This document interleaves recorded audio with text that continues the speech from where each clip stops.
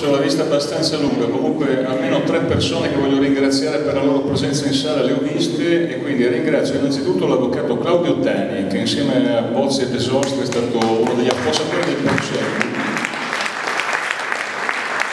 Poi ringrazio Massimo Gatti che è nascosto laggiù in fondo e che è stato per lungo tempo consigliere provinciale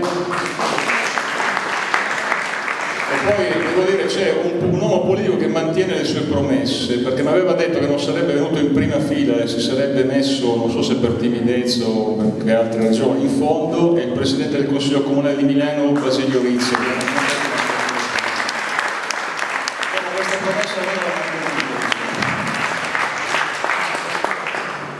Dunque la parola a Gerardo Colombo. Gerardo Colombo penso che non abbia bisogno di presentazioni, eh, a Milano credo che lo conoscano tutti, a me interessa molto però porgli due questioni, sono queste.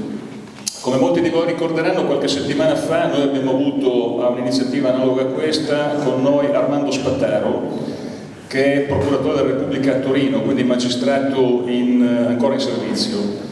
Eh, a cavallo della presenza di Spattaro qui a Milano è partita una polemica sul fatto se i magistrati avessero o meno diritto di eh, intervenire su questioni politiche legate alla Costituzione. Eh, Gerardo Colombo non essendo più in servizio penso che possa essere molto libero nel, nel dirci cosa pensa rispetto appunto alla, alla, possibilità che i magistrati in servizio intervengano su questioni come, come questa.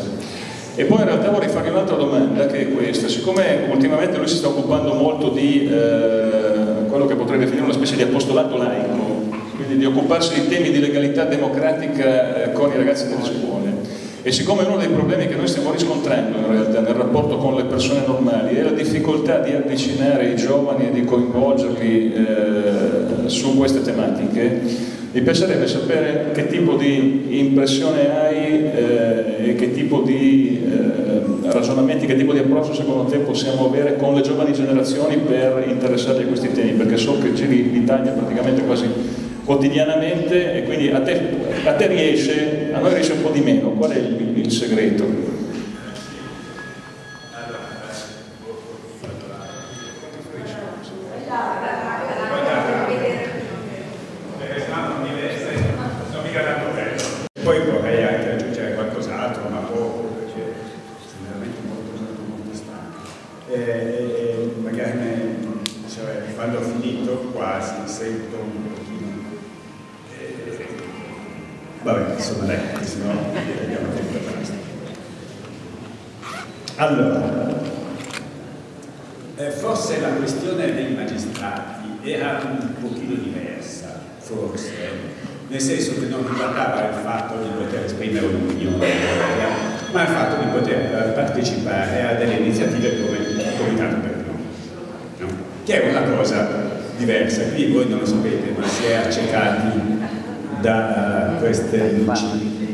eh, per cui non vi si vede e si fa fatica anche avere un feeling con, con, con voi che state qui. Eh, sotto il primo profilo, cioè quello della libertà di espressione da parte dei magistrati, io che non esista eh, nessuna uh, limitazione. L'articolo 21 della Costituzione che dice cosa dice per prima questo è un po' provocatore a me piace luci da sistemare le luci come? da sistemare le luci non si sente bisogna sistemare le luci ah beh no ma fa niente tanto io non uh, ho degli occhiali spessi quindi non è che cosa dice l'articolo 21? io dicevo faccio un po' il provocatore eh, questa cosa mi servirà un attimo dopo. L'articolo 21 dice che eh, tutti possono esprimere liberamente il loro pensiero con qualsiasi mezzo di comunicazione. E non esiste una limitazione, salvo che possa essere una limitazione funzionale, non si può dire, per esempio, perché è vietato funzionalmente, non si può dire eh, quali sono state le opinioni espresse in Camera di Consiglio quando si tratta di decidere no? la sorte di un imputato o chi deve vincere una causa. Ma qui sicuramente non siamo in queste situazioni. E d'altra parte l'articolo 18 della Costituzione, se mi ricordo bene perché ogni tanto i numeri a quest'ora vado, eh, è quello che stabilisce che ciascuno di noi può associarsi liberamente. Cominciamo a entrare nel secondo aspetto. E, e l'articolo 98, a conferma della libertà di associazione, dice che può per legge essere vietato ai magistrati, come ad altre categorie, per esempio i militari, diplomatici, di iscriversi a partiti politici. Ragione per cui io direi che delle limitazioni costituzionali alla possibilità, da una parte, di esprimere la propria opinione comunque, no? dall'altra di partecipare a un'organizzazione come il Comitato per il No, a livello costituzionale proprio limitazioni esistono. Soprattutto se questo è fatto a livello personale, perché poi per quel che riguarda invece una partecipazione a, livello associativo, eh, io credo che esistano eh, degli altri problemi eh, che riguardano la rappresentatività, primo uno, eh, che riguardano la effettiva rappresentatività di tutti coloro che partecipano a quell'organizzazione. Ragione per cui mi pare che tra le varie organizzazioni, chiamatele correnti, chiamatele come volete, della magistratura ci sia stato qualcuno che ha deciso di non prendere posizione come organizzazione proprio per questi motivi. Io peraltro, che insomma dico quello che penso, eh, temo che alle volte eh, questa partecipazione per esempio di un'associazione di magistrati possa essere in qualche misura deresponsabilizzante. Perché che cosa succede? Succede che il singolo eh, si, si, invece di pensare per se stesso, insomma, eh, si affida all'autorevolezza della, della, corrente, per dire, no? per non approfondire il problema e non prendere una decisione, per delegare insomma, la propria decisione e che è una cosa che secondo me non è proprio del tutto in uh, sintonia con un uh, modo di uh, far vivere la democrazia fino in fondo. io credo che noi in questo paese abbiamo un problema grosso e il problema è costituito dal fatto che siamo più un paese di sudditi che non un paese di cittadini. Bravo.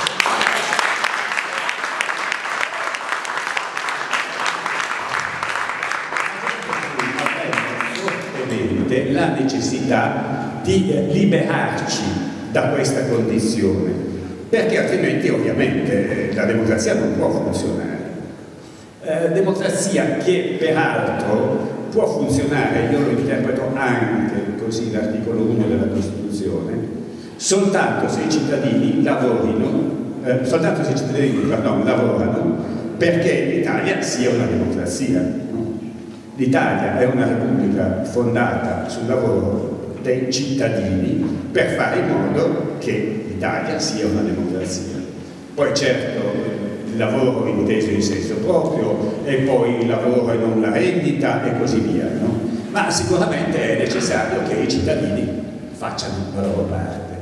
E per fare la loro parte è necessario che i cittadini eh, si impegnino e si impegnino anche, direi prima di tutto, perché è il primo passo eh, sotto il profilo della conoscenza sotto il profilo della conoscenza. Allora se noi affidiamo la conoscenza ad altri e ci limitiamo a recepire quello che altri che dicono di conoscere, che magari conoscono effettivamente, senza svolgere il nostro spirito critico, eh, non siamo una democrazia. Allora, primo punto. Secondo punto, Credo che sviluppo questo e poi vado al secondo passo. Secondo me, però, perché possa eh, eh, realizzarsi questo importantissimo aspetto, quello della conoscenza, io credo che sia necessario sentire voci. E allora mi domando se non sarebbe il caso tutte queste manifestazioni di farle in contraddittorio con l'altra parte. Anche perché in questo modo noi potremmo tralasciare degli aspetti, eh, scusatemi il termine non ne trovo un altro e quindi lo metto tra molte virgolette, degli aspetti propagandistici per entrare nel vivo del tema. Io credo che sarebbe assolutamente necessario, anche perché io credo che in, in, se noi eh, questa riforma la prendiamo in blocco, eh, la mia opinione personale è che ci sono troppe cose che non coincidono con la mia idea di Costituzione e di democrazia. Ma se eh, guardiamo situazione per situazione, si cambiano tutti i 40 articoli, no? Eh, si, si, si, aboliscono le province, si abolisce il CNEL, eh, si eh, modifica sostanzialmente, molto sostanzialmente il Senato, si eh, modificano i rapporti eh, eh, tra Stato e autonomie locali nel tema della, della, appunto delle autonomie e magari c'è qualche cosa che potrebbe anche andare bene. Io per esempio lo scrivevo quasi dieci anni fa, otto, otto anni fa, la mia opinione era che le province andassero abolite e lo penso ancora adesso. Eh, bisognerebbe però poi eh, farsi carico di distribuire quel che le province, le province, le province lasciano. Eh, per dirne una, eh, ci sono anche delle altre altre, de, de, degli altri aspetti che il eh, Presidente, perché credo che sia il Presidente della Regione o sono i singoli membri che non possono guadagnare, i consiglieri, che non possono guadagnare più del, eh, sì, scusate, perché come vi dicevo, purtroppo devo andare a leggere, eh, più del sindaco capoluogo di regione. Non mi sembra una, una, una misura una misura sbagliata questa. No? Allora, già questo aspetto è un aspetto che toglie ai cittadini la possibilità di eh, valutare eh, situazione per situazione, caso per caso e secondo me eh, impedisce un vero esercizio, un esercizio diciamo puntuale no? della potestà refer referendaria. Eh, perché il dibattito? Perché attraverso il dibattito che giusto si, si può arrivare a conoscere. Io poi passo all'altro aspetto, che è quello delle scuole, che però è strettissimamente collegato. A me piacerebbe, non ditemelo, perché potrei eh, eh, essere euforico, cioè la vostra risposta potrebbe eh, provocarmi euforia, ma potrebbe anche deprimervi in un modo forse eh, irreversibile.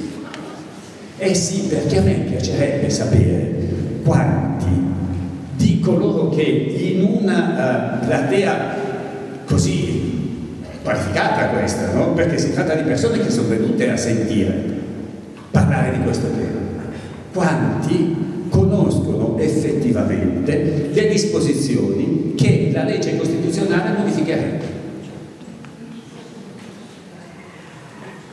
Guardate che questo problema è un tema questo che bisogna affrontare, perché eh, la domanda che mi hai fatto, fatto successivamente è quella, ma nelle scuole, cosa succede nelle scuole?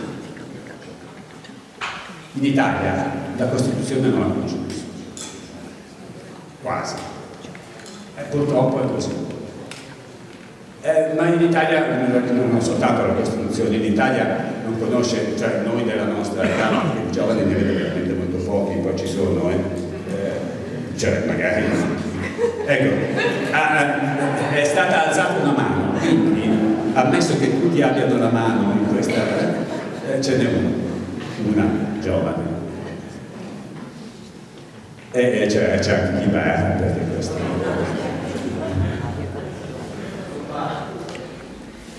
É, a parte chi ha la nostra età, non si conosce nemmeno la storia di questo paese. La storia di questo paese, non la storia dell'umanità. No? Questo paese nasce 150-160 anni fa, quel che è, no? I ragazzi possono arrivare a malapena alla guerra fredda, ma tutto quello che riguarda la loro vita di oggi, e non la conosce quasi nessuno, succede veramente, non è una che eh, chiedendo chi ha messo la bomba in Piazza Fontana venga risposto alle Brigate Rosse. Eh sì, è evidente, è un dramma, ma è veramente un dramma che riguarda noi adulti, eh, perché loro poveretti, i ragazzi. Allora, per riuscire a comunicare con i ragazzi bisogna che i ragazzi siano considerati.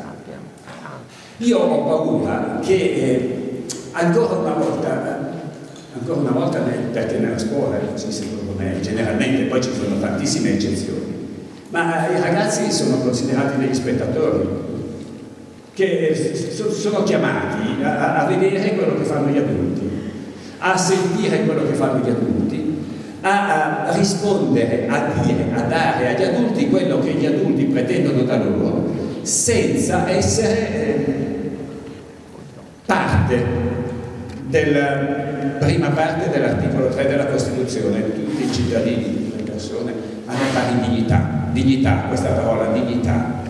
I ragazzi non sono dignità. Li si eh, educa li si istruisce ad essere sudditi li si istruisce a dire tu ti prendi quello che ti dico io e a un certo punto si stufano e allora se si stufano ma non vanno da nessuna parte dove il rapporto è quello Noi, ma quante cose dobbiamo cambiare no? eh, anche, anche questo stare qui così in alto è indubbiamente funzionale a perché è funzionale alla tenibilità di quello che diciamo. Guardate come siamo poi, eh, sì, poi se mi metto le mani sul fianco e esplodano un po' il vento. Eh, vabbè. La prossima al eh, centro commerciale. Sacco di insegnanti nel frattempo perché ci sono eh. insegnanti. Però io non sto parlando di voi che siete qui, Sto parlando della scuola in generale, poi ciascuno di noi ha le proprie responsabilità, no? io ho fatto magistrato per 33 anni, ne ho organi di responsabilità sul funzionamento della giustizia, volente o nolente, perché ho partecipato a quella amministrazione fino a quando non ho deciso di andarmene, perché forse serviva dal mio punto di vista qualche cosa, qualche cosa da un'altra parte. E allora i ragazzi hanno una grandissima voglia di coinvolgimento, ma veramente ce l'hanno, una grandissima voglia di coinvolgimento. E io l'ho constato tutti i giorni, perché bene o male nelle scuole se non ci vado tutti i giorni quasi.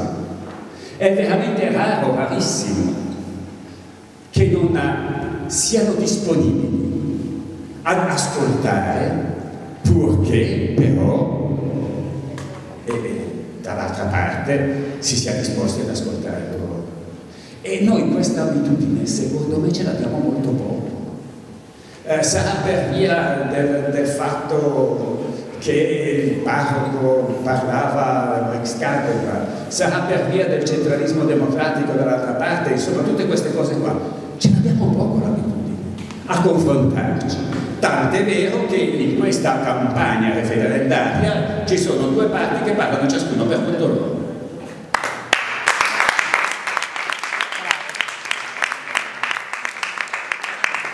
Allora invece io credo che sia proprio necessario entrare in contatto e sia necessario parlare del tema. Parlare del tema farsi delle domande, darsi delle risposte, ma farsi reciprocamente anche delle domande e cercare di riuscire no, a capire la risposta dell'altro. Perché per quanto noi, eh, io parlo generalmente eh, proprio eh, delle persone, noi abbiamo, partiamo di solito da un atteggiamento, io parlo di tutti, parlo anche di me, poi perché è difficile liberarsi da un atteggiamento di supponenza. Cioè, prima abbiamo ragione, prima abbiamo ragione. e poi viene tutto il resto. E magari non è così. Magari non è così. Allora, eh, torniamo perché volevo dire qualche cosa anche a proposito di, di, di questa legge costituzionale. Dicevo, ci sono delle cose che a me andrebbero bene. Eh, parlavo dello stipendio, del, parlavo del... Beh, il fatto che si riduca un po', forse anche la Camera dovrebbe, dovrebbe, dovrebbe subire una qualche dieta dimagrante. Eh, sarebbe però necessario che sia una... Io eh, l'ho scritto anche quello, io ero e credo di essere ancora abbastanza indirizzato verso un'abolizione del Senato. Eh, perché, perché secondo me il Costituente a suo tempo aveva cercato di rendere le due Camere differenti, affidando la stessa competenza, no? l'età per l'eleggibilità, l'età degli elettori, ma non soltanto quello. Eh, oggi le differenze sono veramente minime, ma soprattutto oggettivamente, secondo me, manca un requisito eh, che invece allora era presupposto, e cioè che nel Parlamento si parli. Che nel Parlamento si parli. Oggi cosa succede? Succede che alza la mano il capogruppo, e, ma non sanno neanche delle volte, eh, per carità, non si sa neanche su, su che cosa si vota. Allora, eh, io credo che sia necessario in qualche misura adeguarsi anche alla cultura però cercando contemporaneamente di fare in modo che questo adeguamento non impedisca, anzi agevoli, di recuperare quello che si è perduto. Eh, io ho, ho, i, i miei problemi maggiori riguardano il sistema elettorale poi ce ne sono altri di problemi che riguardano la definizione della competenza, il, la, la, la, il rischio forte, fortissimo che volendo rendere più rapido il corso dell'approvazione uh, delle leggi invece lo, lo, lo, si ritardi proprio per via di conflitti di attribuzioni e di competenza tra le due eh, mi domando in certi casi esiste la sanzione per il mancato rispetto dei termini previsti per, uh, voi sapete benissimo perché avete letto.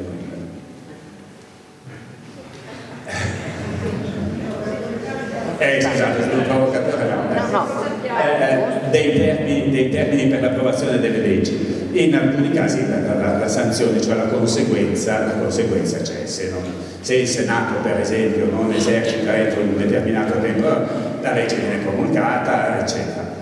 In alcune, in alcune circostanze invece non si capisce cosa succede.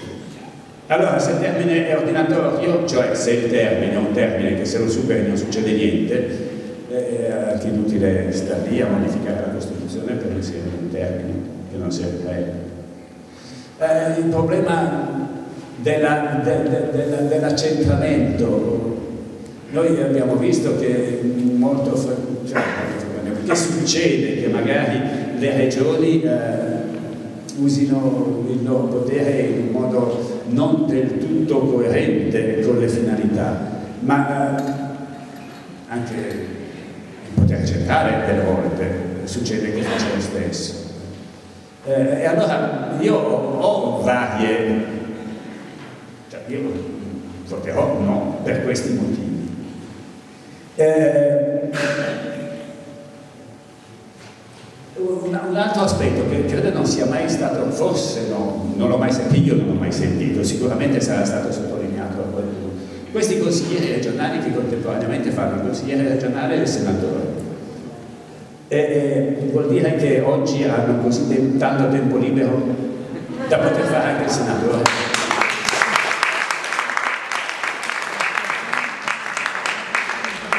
se hanno così tanto tempo libero forse eh, o fargli fare delle altre cose a livello regionale, che ne so. Eh. E tutto questo vi stavo dicendo a proposito della legge, però vorrei tornare un pochino indietro eh, perché io credo che sia proprio estremamente importante che perché funzioni questo paese eh, si cerchi di modificare la cultura, proprio il modo di, il modo di intendere la relazione con l'altro. Allora, i ragazzi, i ragazzi adesso molto spesso sono abituati a parlare in 150 caratteri, 140 caratteri. È necessario riuscire a far capire le cose in 140 caratteri. In 140 caratteri tu riesci in modo estremamente facile a dire che i senatori da 315 diventano 100. È estremamente facile dire che i senatori non saranno più pagati, non avranno più una, una, una, un compenso, una indennità. È molto più difficile dire che però tutto il meccanismo che sta dietro ai 315 eh, rimarrà invariato è molto più difficile dire quello. È molto più difficile eh, eh, riuscire in 140 caratteri a, far capire come eh, il sistema complessivo della riforma costituzionale e della riforma elettorale per la Camera porterà a quelle eh, chiamare strutture, insomma, a, quella uh, consolidazione no? di potere eh, che è esattamente il contrario di quel che la nostra Costituzione vorrebbe e se passa la riforma avrebbe voluto. È difficile, e però bisogna attrezzarsi per farlo. E allora magari, magari proviamo delle volte a mettere da questa parte del tavolo dei ragazzi perché magari se da questa parte del tavolo invece di trovarsi davanti delle persone dai 70 anni in su ringrazio che sono discussi per gli altri interventi Gerardo Colombo e adesso la parola eh, Massimo Villone che è presidente del comitato per il sì al referendum, al referendum abrogativi dell'Italicum è ordinario di diritto costituzionale presso la facoltà di giurisprudenza dell'Università degli Studi di Napoli Federico II ed è direttore del Dipartimento di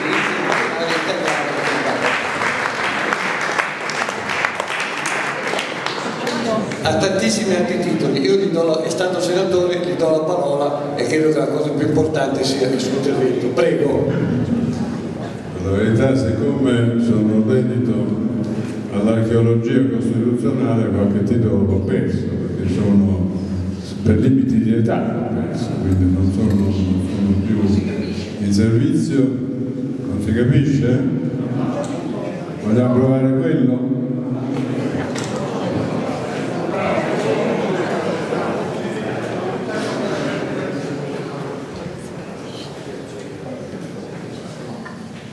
Come va questo?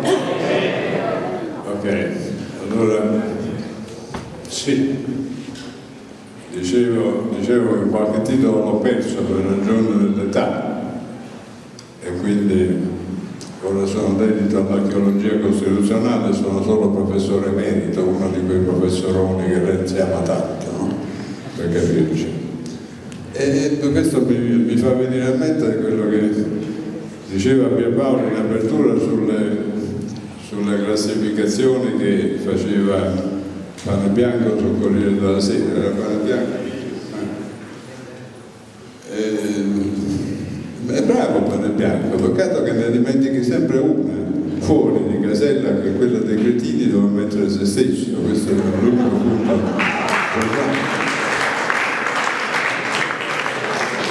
sul quale mi sento di dissentire.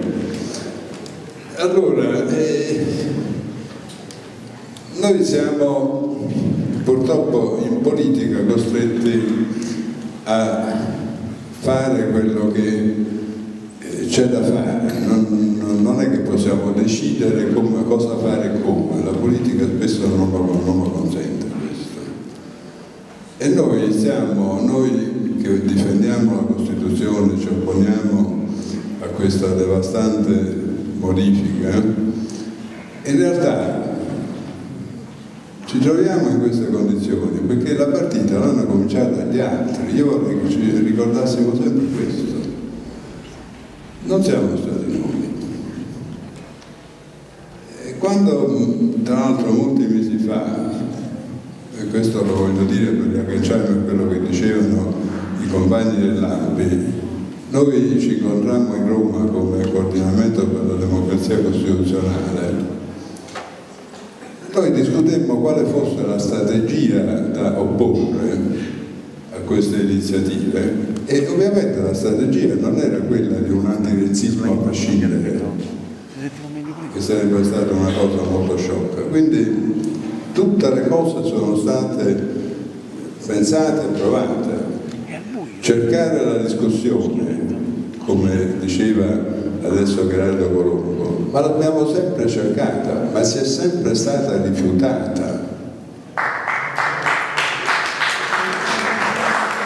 Non è che non abbiamo parlato, non c'è stata nessuna disponibilità ad ascoltare. Io sono andato personalmente, ho partecipato personalmente a non so più quante audizioni alla Camera e al Senato. Ho chiesto più volte alla Ministra Boschi Ministra, ma perché insistete sul, per esempio sul carattere non elettivo del Senato, su, su certe forme particolarmente inaccettabili dell'Italicum e così via? Ma credete voi che mi ha dato mai uno straccio di risposta? Mai! Mi ha dato quel blando sorriso da Madonna che vedete in tv. Che può essere anche un argomento, per carità e dopodiché ovviamente era possibile avere più questioni separatamente. Adesso c'è una parte dei miei colleghi, degnissimi autorevoli colleghi, che si sono inventati questa cosa dei quesiti parziali.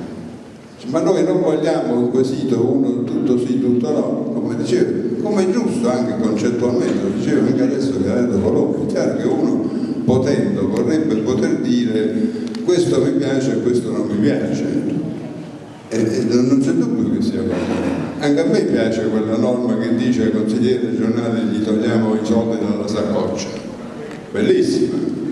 E però eh, non, è dato purtroppo. E vedete perché non è dato? ma non perché non sia tecnicamente possibile ma perché non funziona politicamente non funziona.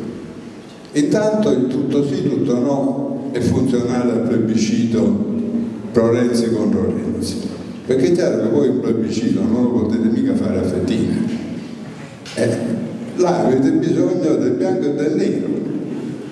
Quindi è evidente che dal primo momento, siccome questa cosa Renzi mica è stata trovata adesso, ma ce l'aveva in testa, io scommetto dal primo minuto, era evidente che tutto doveva tenersi e per di più doveva tenersi perché passava attraverso un patto politico che era quello con Berlusconi, cosiddetto patto del Nazareno.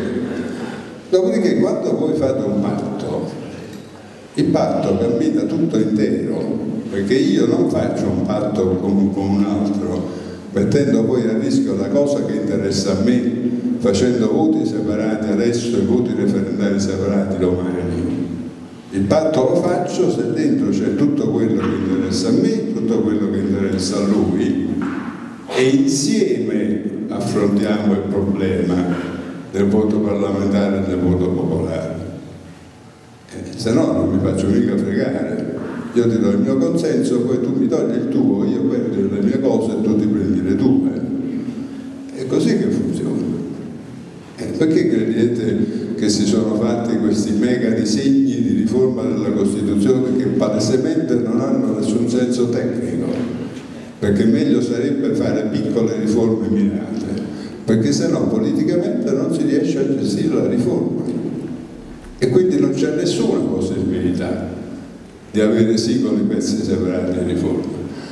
Ma a parte questo, anche tecnicamente non regge, perché l'argomento che regge questa cosa dei quesiti separati, sapete qual è? quello di dover osservare il principio della omogeneità del quesito stabilito dalla Corte Costituzionale. Si dice ma l'elettore ha diritto di votare per un quesito che sia omogeneo in relazione al quale possa orientarsi o tutto per il sì o tutto per il no, giusto? perché se no si lede la libertà di voto, perché se io ho un quesito per il quale pro quota voglio dire sì o no, e però io un solo sì o un solo no devo dire, quindi per una parte sarò quartato e quindi non sarò libero nel voto. Ma questo vale per il referendum abrogativo. E perché vale per il referendum abrogativo? Perché il referendum abrogativo può essere parziale. Perché ovviamente se il referendum è totale non ha più senso parlare di omogeneità necessaria. Perché se il requisito è totale, tutto sì o tutto no, non esiste più il problema dell'omogeneità. Per definizione lo è, è tutto è chiaro, quindi la omogeneità del quesito necessaria deriva dalla possibile parzialità del quesito, perché l'articolo 75 dice che si può fare l'abrogazione parziale. L'articolo 138 non lo dice, non parla di parti della legge, dice che la legge si approva, la legge costituzionale si approva, se si approva con la maggioranza assoluta ma con meno di due terzi, può essere chiesto il referendum. Stop. E la legge 352 del 70, che è quella che disciplina il voto referendario, quella che applicheremo adesso a ottobre, che vedremo applicato a ottobre, all'articolo, se non sbaglio, 16, scrive testualmente il quesito in questo senso. Volete voi che sia approvata la legge votata il giorno tale dalla Camera e il giorno tale dal Senato? volete voi che sia approvata la legge, sta scritto proprio così il testo del quesito, se oggi uno va in Cassazione e deposita un quesito che dice volete voi che sia approvata la legge per quanto riguarda l'articolo 1, 2, 3 4, la Cassazione dice di no, dice che è legittima, perché è sicuramente in contrasto con la legge 352. Quindi tutto questo è una grande esercitazione filosofica, ma lascia le cose come stanno. Noi a ottobre andremo a votare tutto sì o tutto no e la battaglia è questa, questa battaglia bisogna combattere, ci piace o non ci piace.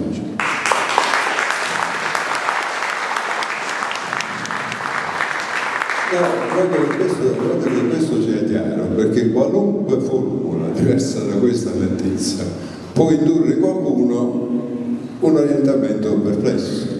Beh vabbè, ma allora se si, se si, potesse, allora noi potremmo, beh allora quasi quasi voto sì. No, questa porta va chiusa, perché non ce lo possiamo permettere di lasciare nemmeno un piccolo spiraglio aperto. Ora, perché bisogna andare a, tutta, a tutto vapore? Perché vedete, quello che accade ci dice che a Palazzo Chigi monta la preoccupazione. Palesemente quello che è accaduto è che Renzi voleva, pensava, il giovanotto arrogante, di uscire, beh, giovanotto sicuramente lo è, arrogante pure, quindi se, seppure mi cita per diffamazione che ogni altro la perde, diciamo, quindi va bene. E allora che cosa, cosa pensava Renzi? Lui pensava di uscire e praticamente di stenderci tutti, perché questa era l'idea, no? che lui vinceva, stravolgeva tutte le resistenze, si rivolgeva al popolo, il popolo lo sannava insomma a quel punto tutti a casa. E invece non è andata così. Quello che sta accadendo ed è già in parte accaduto era inatteso, io ci commetto quello che volete per Renzi, era inatteso.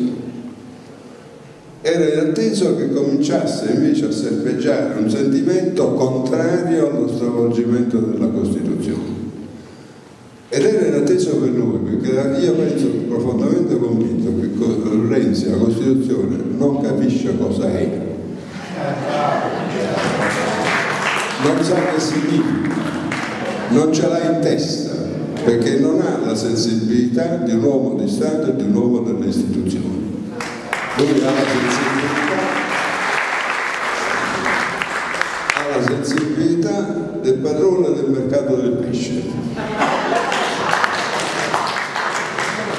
Perciò non capisce, perciò adesso è meravigliato che ma come la gente non mi segue? No, la gente non ti segue, perché nella Costituzione sente che c'è qualcosa ecco che monta diciamo, l'attacco, monta la virulenza del, degli insulti, delle divisioni, monta l'attacco all'Ampi. L'attacco all'Ampi nasce così.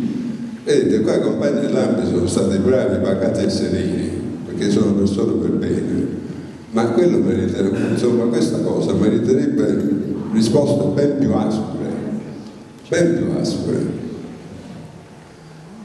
Perché queste risposte, questi attacchi sono venuti per il fatto che secondo un certo modo di vedere, secondo la ministra Boschi, quando dice i veri partigiani votano sì, ma come si permettono questi di disobbedire invece di prestare omaggio al capo? Questa è la cosa che sta dietro.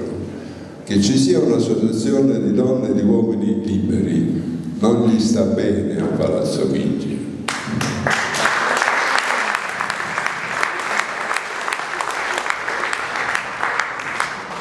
E io queste cose le scrivo domani sul manifesto, quindi non le dico a voi, ma le dirò su una platea un po' più ampia, perché vanno dette, vanno dette con le parole dure che meritano questi comportamenti. Perché non bisogna pensare, non da parte dell'ampia, perché sennò poi, no, no, no, diciamo dagli amici, devono essere gli amici dell'Ampi a parlare per l'Ampi, non deve, non deve essere l'Ampi che se no può dare l'impressione che fa la battaglia personale di chi sta, di chi sta diciamo, nei, posti, nei posti di comando.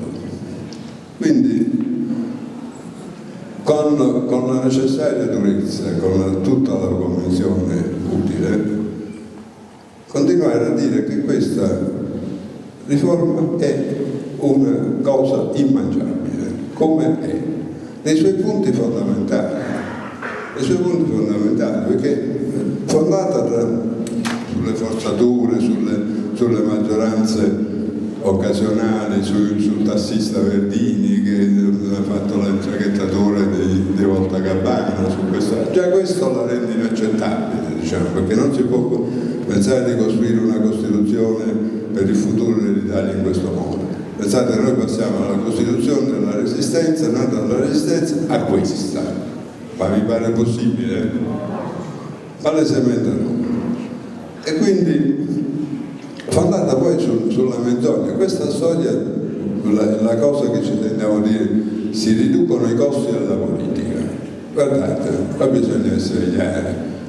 I costi della politica, questa, con questa riforma, questa storia del Senato si, si ridurranno di spiccioli perché le spese dell'istituzione, voi potete andare a vedere questa cosa dai bilanci che sono pubblici, sono la in larghissima parte spese di mobili, di servizi e di personale. Le spese dell'indennità sono la cosa minore, saranno il 15%, il 20%. Su questo bisogna scalare, che il senatore del bar dello sport, quello di seconda scelta che viene al Consiglio regionale, non è mica a costo zero e lo dovete portare a Roma, avrà una diaria, avrà una missione, dovrà mangiare, oppure si porta il sacco a pelo e il panino dalla casa.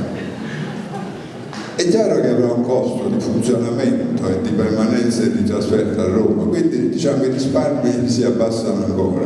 Se si fosse fatto un senato elettivo di 200 e una Camera di 400, come ci stanno in tante proposte di sinistra, di destra e di centro.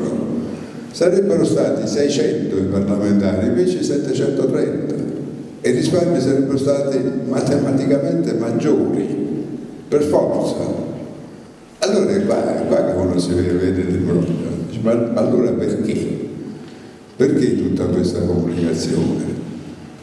Perché? Perché quello che si voleva colpire è la rappresentatività dell'istituzione Parlamento. Perché tu non puoi pensare che sia forte e rappresentativa una Camera come Senato che è stato costruito. Voi pensate per esempio, si dice, ma quella è la Camera delle Regioni, no? Questo è un altro argomento, quindi noi facciamo, rafforziamo l'istituzione Parlamento perché facciamo finalmente questa cosa che da tanto tempo volevamo fare. Ma ragionate con me. I numeri ci dicono 74 senatori e 21 consiglieri, consiglieri senatori, cioè eletti dai consigli regionali, e 21 sindaci, uno per regione più le province di Trento e. Ci siete? Mi seguite? Allora, 10 regioni in Italia avranno due seggi senatoriali ciascuna. Uno però è riservato a un sindaco, perché questo dice la legge, la legge Renzi Boschi. Allora, per 10 regioni il Consiglio regionale eleggerà un senatore che sarà eletto in uno dei collegi della regione che è un piccolo collegio infraregionale nel quale questo continuerà a fare politica e curerà la sua carriera. Pensate che quel singolo senatore rappresenterà la regione? Mi sembra plausibile. Pensate che quel singolo sindaco rappresenterà i comuni della regione? Tenete conto che poi i consiglieri non manderanno mai il sindaco di Milano, che sarebbe ovviamente un antagonista e un competitore. Eh, qual è l'ultimo sperduto paese della Lombardia, il più piccolo di tutti? Qual è? Manderanno il sindaco di quel paese lì? Non so quale sia, eh? ho stima di quel sindaco chiunque sia, manderanno lui a fare il senatore, perché sarà del tutto. Allora, questa è la rappresentanza che voi avrete in questo, in questo Senato e per di più sarà un personale politico che è quello che sappiamo. Ieri a Bergamo Renzi ha fatto un'elegante citazione delle mutande verdi. Avete letto? No, non avete letto.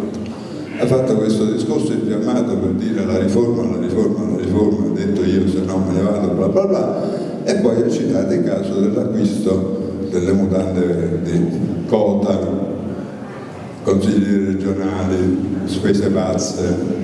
E lui ha elegantemente citato questa cosa dicendo che, questo, che siccome si tagliano i costi si tagliano anche quelli. Però non ha colto l'ironia di un passaggio, che i personaggi che lui vuole mandare in Senato sono quelli che compravano le mutande verdi. Non solo, che adesso comprerebbe le mutande verdi con la copertura delle prerogative costituzionali sugli arresti, le intercettazioni e le perquisizioni non gliene abbiamo manco più le tutti. E questo è il Senato di Renzi. Allora si poteva fare meglio? Sicuramente si poteva fare meglio. Per la legge elettorale è stato già detto. Ma scusate, vi pare possibile che con una sentenza della Corte Costituzionale, che è la 1 del 2014, che dichiara illegittimo il Porcellum perché c'è una disproporzionalità eccessiva, questa è la formula che usa la Corte, tra i seggi, tra i voti, i voti reali, i voti consensi conseguiti ai seggi attribuiti, per cui pochi voti, molti seggi per la mancanza di una soglia premio di maggioranza, questo è nel, diciamo, l'argomento della Corte e poi per la libertà di voto lei sarà la lista bloccata. No, questa è la sentenza della Corte e l'Italia come che fa? Sostanzialmente riproduce entrambi questi vizi. Sul primo apparentemente lo supera quello della mancanza della soglia perché prevede una soglia del 40%, ma a parte che già il 40% significa un, un premione di maggioranza, come capite, perché con il 40% poi si arriva alla, ai 340 seggi, quindi largamente oltre la maggioranza assoluta. Ma il problema è che in un contesto tripolare come quello che abbiamo, al 40% non ci arriverà nessuno. Quindi in realtà lo scenario vero di funzionamento dell'Italicum è quello del ballottaggio e al ballottaggio si va senza soglia. I primi due, qualunque sia il livello di votazione, i, i voti avuti, vanno a ballottaggio e di questi primi due chi, chi avanza di un voto vince. È stato giustamente citato il caso di Bolzano, insomma il ballottaggio è un meccanismo perverso che sicuramente, come dire, apre la possibilità, la, la prospettiva potenziale che si può dire ma quello non succede, ma nemmeno quello con il Porcellum doveva necessariamente succedere, anche lì si è dichiarata l'incostituzionalità di di di un possibile esito elettorale.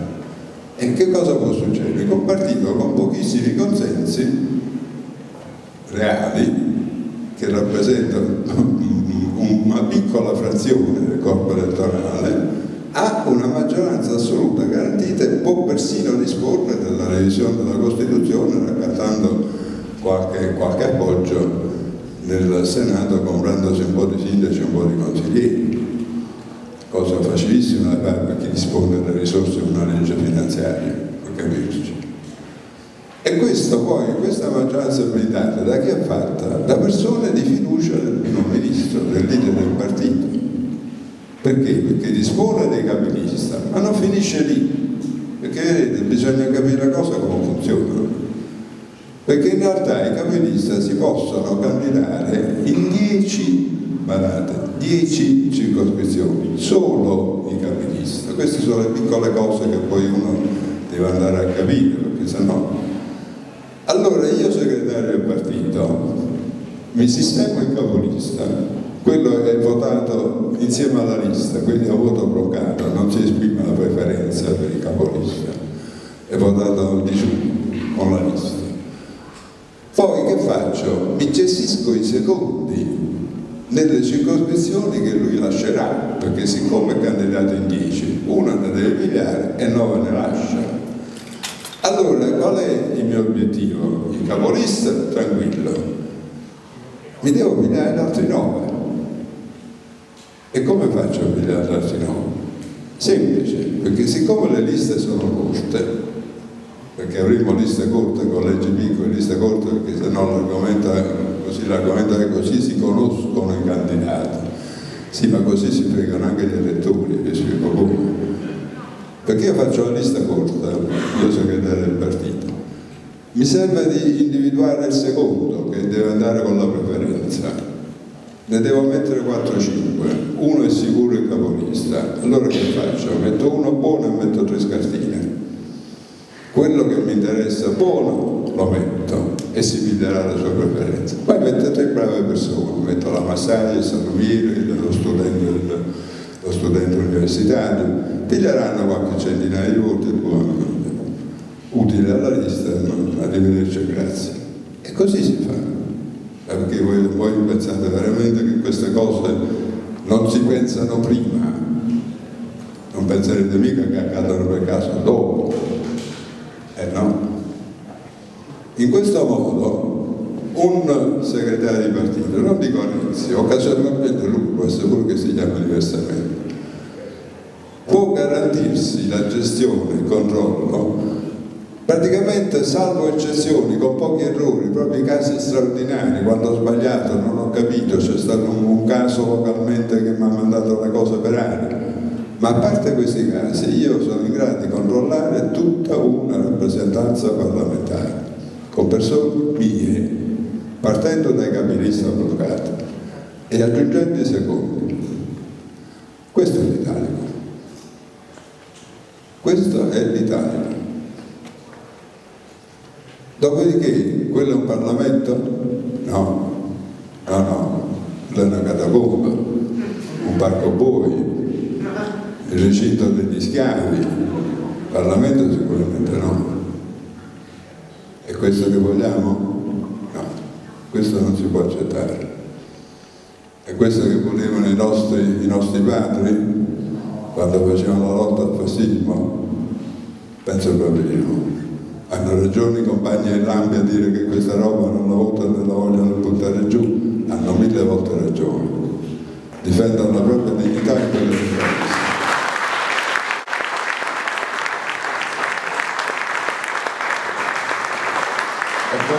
E cosa possiamo fare noi per aiutare loro e per aiutare noi stessi? Guardate, è semplice, io mi sono sentito dire in queste settimane che sono passato a girare per il paese, beh ma non ce la faremo mai, non c'è speranza, non c'è speranza, a parte il fatto che la speranza c'è e perfino i sondaggi cominciano a dimostrarlo e la ministra Boschi comincia a dare di matto che sembra un buon segnale. Ma quello che io dico, i nostri padri, e per qualcuno di noi veramente sono stati i nostri padri, le nostre madri, si sono trovati in un periodo storico, che è quello del ventennio fascista, in cui ogni mattina che si alzava il sole, loro non avevano idea se la privazione della libertà in cui si trovavano avrebbe mai avuto fine. Per quello che sapevano poteva anche non finire, per quello che sapevano poteva anche durare per tutta la loro vita. Poi non è stato così, perché la storia per fortuna ha girato